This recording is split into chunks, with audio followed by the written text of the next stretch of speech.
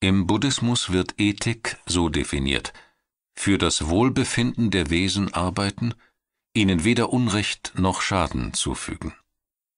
Dies ist die Grundlage für eine Haltung des Nicht-Schaden-Wollens, des Mitgefühls und der Liebe allen anderen Wesen gegenüber. Wenn unser letztendliches Ziel ist, so viel wie möglich für andere zu tun, ihnen so viel Gutes wie irgend möglich angedeihen zu lassen, dann müssen wir in jedem Augenblick unseres Lebens tun, was wir können, um diese Fähigkeit zu verwirklichen. Wenn wir auf uns selbst gestellt sind, treffen wir nicht immer weise Entscheidungen. Buddha wusste das und entwickelte daher Regeln für ein sittliches Leben. Wenn wir Sila, unsere Tugendhaftigkeit, fördern, führt das zu innerer Ruhe und positiven Beziehungen mit der Welt. Aber eine ethische Entwicklung umfasst mehr als richtiges Verhalten. Ein guter Charakter ist die Basis der Meditationspraxis und das Sine qua non des spirituellen Erwachens. Wenn man seine Rede, seine Taten und seinen Lebensunterhalt reinigt, begibt man sich auf den Pfad der Befreiung. Die Grundlagen der Ethik die Schulung in sittlichem Verhalten kann vielerlei Formen annehmen, ihr gemeinsames Fundament ist es jedoch, sich von den zehn Nichttugenden abzuwenden. Von den zehn Nichttugenden betreffen drei körperliche Handlungen, vier verbale Handlungen und drei geistige Handlungen. Die drei körperlichen Nichttugenden sind einem Lebewesen das Leben zu nehmen, stehlen, und sexuelles Fehlverhalten. Einem Lebewesen das Leben zu nehmen. Dies reicht vom Töten eines Insekts bis zum Töten eines Menschen. Stehlen, sich das Eigentum eines anderen ohne dessen Einverständnis anzueignen, gleichgültig welchen Wert es hat und ob die Tat von einem selbst oder einer anderen Person verübt wurde. Sexuelles Fehlverhalten Ehebruch begehen.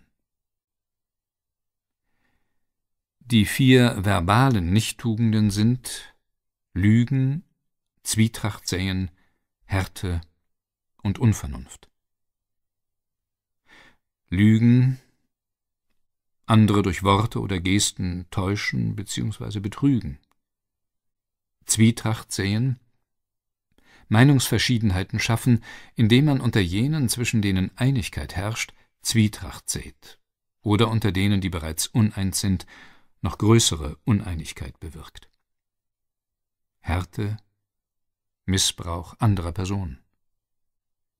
Unvernunft, motiviert durch Verlangen über törichte oder närrische Dinge sprechen.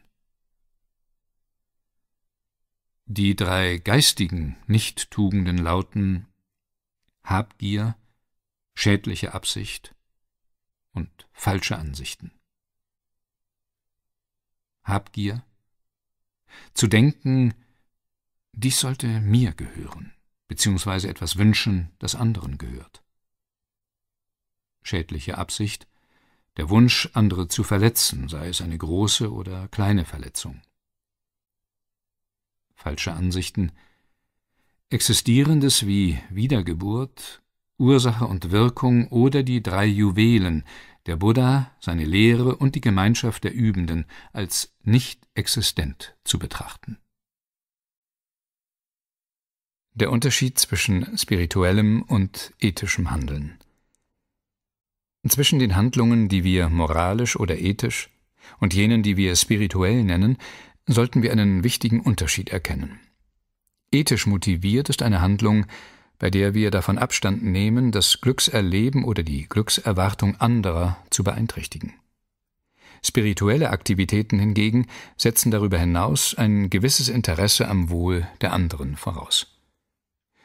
Solche spirituellen Handlungen, deren Beweggrund nicht in kleinlichem Egoismus, sondern in der Anteilnahme am Wohl der anderen besteht, kommen schließlich uns selbst zugute. Und nicht nur das, Darüber hinaus geben sie unserem Leben Sinn. Und das ist jedenfalls meine Erfahrung.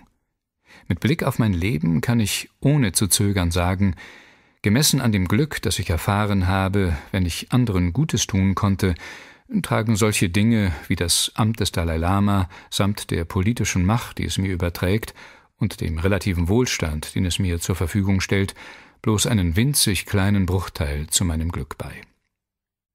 Hält dieses Denkmodell einer Untersuchung stand? Ist ein Verhalten, das von dem Wunsch bestimmt wird, anderen zu helfen, der effektivste Weg zu echtem Glück? Überlegen Sie bitte Folgendes. Wir Menschen sind soziale Wesen. Wir kommen auf diese Welt, weil andere gehandelt haben. Ebenso sind wir auf andere angewiesen, um überleben zu können. Ob es uns gefällt oder nicht, fast in jedem Augenblick unseres Lebens profitieren wir von den Handlungen anderer. Daher sollte es eigentlich nicht verwundern, dass unser Glück größtenteils aus unseren Beziehungen zu ihnen erwächst und es uns ganz besondere Freude bereitet, wenn wir uns mit Fürsorge um andere kümmern. Doch damit nicht genug. Wir stellen fest, dass altruistisches Verhalten nicht nur Glück bewirkt, sondern zugleich unser Leid verringert. Das soll nicht heißen, ein Mensch, dessen Handlungen darauf ausgerichtet sind, andere glücklich zu machen, müsse weniger Härten im Leben erdulden als ein Mensch ohne diese Motivation. Krankheit, Alter und andere Beschwernisse ereilen jeden von uns. Jenes Leid allerdings, das unseren inneren Frieden untergräbt, Angst, Zweifel, Enttäuschung, tritt eindeutig weniger in Erscheinung. Bemühen wir uns um andere, so sorgen wir uns weniger um uns selbst. Und wenn wir uns weniger um uns selbst sorgen, ist die Empfindung eigenen Leids weniger intensiv. Was sagt uns das?